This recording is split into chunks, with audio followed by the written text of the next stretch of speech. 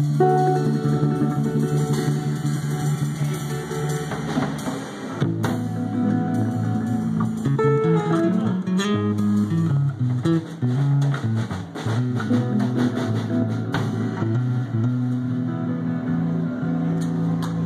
right, and that was the Nick G project.